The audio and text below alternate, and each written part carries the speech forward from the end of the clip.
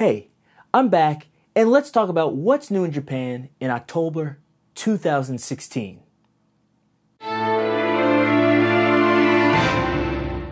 Okay, so the first story I want to talk about is this strange one about a fashion blogger.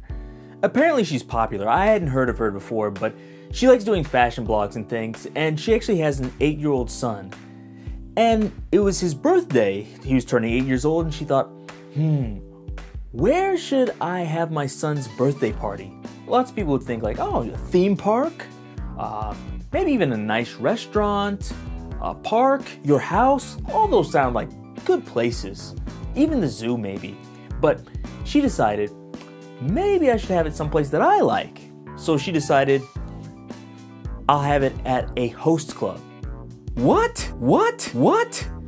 For those of you that don't know, host clubs are places for women that want to be entertained and they have like really good looking men who serve them drinks and flirt with them for money. And so this is probably a good place if you're maybe like a 20 year old woman or a 30 year old, 40 year old, 50 year old woman and you want the companionship of, you know, a, a nice looking man Probably not a good place if you're an eight year old boy, but she thought, oh, I'll do this anyway. And she was criticized by the Twitter in Japan, Japanese Twitter, I guess, and honestly, with good reason. Another thing that lots of people were disturbed by is she dresses her son like a host. And I'm thinking, like, why do you want your son to be a host? And why would your son like this? And so lots of people complain, said you're treating your son like a doll and all sorts of things. And I don't know. I, I'm guessing the father isn't in this child's life because I can't imagine any father would put up with this kind of foolishness. But I don't know. Who knows? But at any rate, I, I thought this was strange and was unbelievable. Speaking of unbelievable, the next story is about a man who was sleeping in a parking lot and it's like, why would you be arrested for that? But then the police just came and like knocked on his window and like, what are you doing? And he's like, oh, I'm tired, I'm sleeping.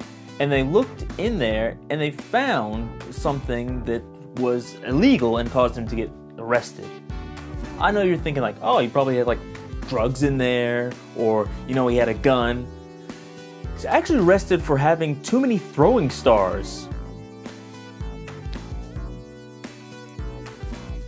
Apparently, in Japan, throwing stars are illegal, at least having too many of them. So he had throwing stars and throwing knives, and I guess this is illegal under like the Japanese Gun and Sword Control Act. He had throwing stars and these knives because he said he really likes ninja and he makes some of the, throwing stars, or I should say shuriken, himself, and he likes to go, you know, practice with them and throwing them which I think is okay hobby. Apparently he had like a lot of them, like 170 or something. But that's a lot. But I guess maybe if you're you know throwing throwing stars, you don't want to have like three and then have to go pick them up after you throw them. So I can understand a little bit, but. I was still surprised this law is in place. I, I don't know. I, I had to research, but I believe this Sword Control Act goes back to like the, the Meiji era, which is like 150 years ago, maybe more in Japan where like samurai, or actually after the Meiji era. I'm sorry, I'm getting my eras confused. And at this time, samurai were outlawed, so you weren't allowed to carry swords. But apparently, this is still going on, so I guess it's still illegal to carry a sword around in public in Japan, which I guess makes some sense because you don't want people carrying swords. But honestly, who's getting murdered by swords? Is that really a big danger now that you need a law against it? But like I said, Japan's kind of slow to update their laws, so eh, whatever. But please, somebody help this man. I, nobody should go to jail over throwing stars. Another one that was really interesting that I didn't know about was something called Hanakomon. And I know you've probably seen these samurai sigils or samurai coat of arms. They're similar to like the European coat of arms where a family would have it. And they have the same thing in Japan, but of course, if your family's not like samurai, you don't have those, and foreign people don't have these. But there's actually another one, which they're calling Hanakomon, and these are based on your birthday, so everyone has one for their birthday. And I'll try to leave the link to the website below so you can actually see it. But I actually have my own. This is for my birthday, and I thought, ah, it's really cool. It's actually based on a flower, so like hana actually means flower in Japanese. And they, these are, I think all of them are based on different flowers. And they look really beautiful and it's really interesting. And on the site, you can order something, but to be completely honest, they're not really clear about what they're selling. They just like show the picture and like, if you'd like to order this, it'll be delivered in this many days. And I'm like, what is delivered? Are you gonna, is it just this picture that's on your website? I don't know. Hopefully they'll be more clear, but at least the site is in English. So please check that out and you can check out your own Hanakomon yourself. If you're looking for another way to spend money, I actually have one for you. There's a Japanese idol group that has kind of decided to get rid of those pesky handshake events.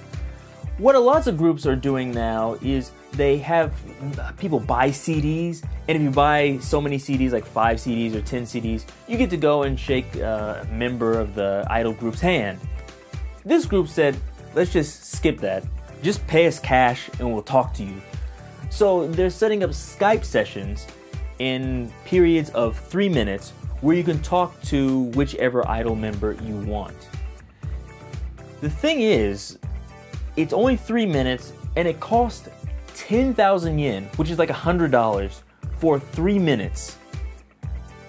This is the thing I don't even understand. This group is not even popular. I think the name is called ISIS. I might be wrong about that, but if I'm right, that's an unfortunate name. but this isn't like some like huge group where it's like, oh, they have you know millions of fans. So I don't know where they get off charging 10,000 yen for three minutes, but I don't know. People are spending tons of money on things, so maybe that's that's where it comes in this really strange thing about this is there's like so many people that want to pay this, but the idol world is a little bit strange because usually people are idols for just like a short amount of time, like maybe from like 16 to 20, and then they just stop and they become like normal people. So I figure like if you really like this person in the idol group, if you just wait like four years or something, you could probably get a date with them, really. It can't be that hard. I mean, that's the thing. They turn from like idols into normal people. They don't stay famous. So it's like eh, you just gotta keep up with them, slide in their DMs in a few years. You too can have an idol girlfriend or wife. But if not, just pay the 10,000 yen and get your three minutes. So that's interesting. And apparently, there's some other group. It's like idol voice actress group, which I don't understand how is it they have two jobs, but that one is a little bit more reasonable. It's like 3,500 yen for, I guess, three minutes, but it's still a little bit high, but I guess that's more affordable. But if you really want to talk to an idol, you can do it. You have the ability now. As always, vote for your favorite story, leave me a like, subscribe, all that good stuff. I think I'm at 298 or 299 subscribers now, so please be that person to give me the 300th subscription. And uh, thank you, everyone else, for supporting me. And until next time, see you.